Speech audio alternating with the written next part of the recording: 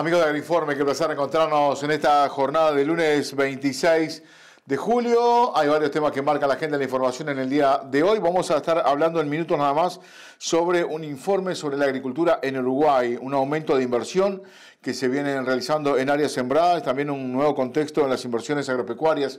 En minutos nada más vamos a estar con ese tema. Vamos a estar hablando con el ingeniero Carlos Molina, director general del Instituto de Plan Agropecuario, a propósito de la respuesta por parte de los productores de la Red de Información Nacional Ganadera. Además, se viene la exposición del Prado, será a partir del próximo 10 de septiembre. Vamos a estar dialogando con Rafael Ferber, director de exposiciones. Comenzamos así, de esta manera.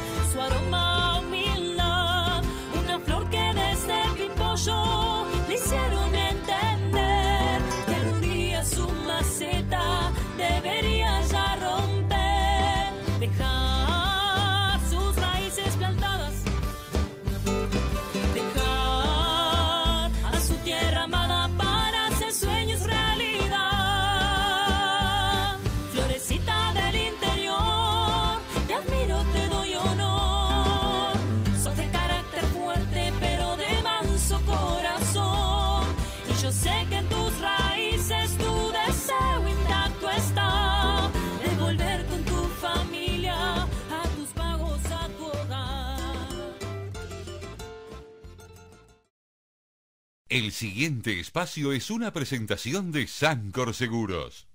Vamos a comenzar con el desarrollo de la información agropecuaria. Hemos preparado dos informes. Uno tiene que ver con el aumento de inversión de áreas sembradas eh, y lo vemos. En la última campaña, el índice de inversión en maquinaria agrícola que elabora Carly Andrioli, con base en las importaciones de tractores cosechadoras y sembradoras, presentó un incremento de 35% respecto al anterior. Esto permite aumentar el indicador de inversión por hectárea sembrada con potencial de mayores rendimientos, racionalización de costos y mejora de la rentabilidad operativa. El aumento de la inversión agrícola de la zafra ocurre en un marco de precios internacionales de altos de los productos agrícolas que mejoran las márgenes de rentabilidad. Mayores áreas de siembra de los principales cultivos, incrementos de las productividades agrícolas a excepción de la soja afectada por la sequía, aumento del producto agropecuario en general y de la agricultura en particular, un mayor acceso al financiamiento bancario y mejores condiciones de los créditos y disponibilidad de beneficios tributarios a la inversión. Además de un incremento de la cotización del dólar de 3% inferior al aumento de los precios del consumo tendencia al alza de los costos de producción por suba de los precios de los insumos.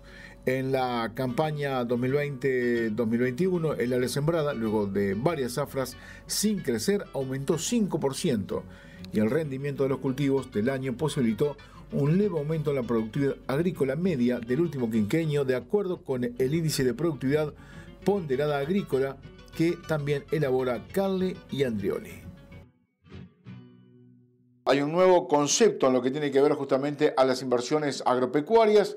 Seguimos viendo el siguiente informe. En las decisiones de inversión de los productores agropecuarios está siendo determinante la rentabilidad esperada, incidida de forma importante por el nivel actual de los precios de los productos agrícolas. Además, están contribuyendo a las mejoras de la oferta de financiamiento de los incentivos tributarios a las inversiones. En lo que tiene que ver a los precios agrícolas, hasta el año 2014, las inversiones en equipos agrícolas fueron impulsadas por el boom de los precios internacionales, mientras que en las zafras siguientes, las decisiones de inversión tuvieron como marco precios bastante menores. En la zafra 2020 y 2021, los mayores niveles de precio permitieron incrementos de exportaciones de áreas de siembra y de inversiones agrícolas. En los últimos 12 meses, a junio de 2021, el índice de precios de alimentos de la FAO subió 34%, al igual que el índice de precios específico de los cereales. Por su parte, con base en información del Banco Mundial, los precios agrícolas promedios de la zafra 2020-2021 aumentaron respecto de los promedios de la campaña anterior. La soja un 41%, el trigo 16% y el arroz 9%.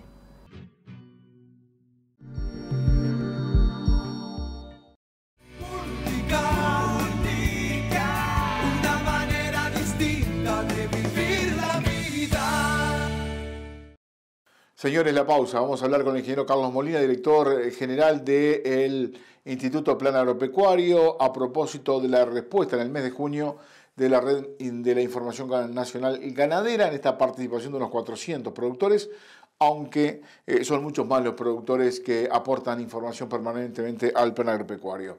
La pausa y ya volvemos.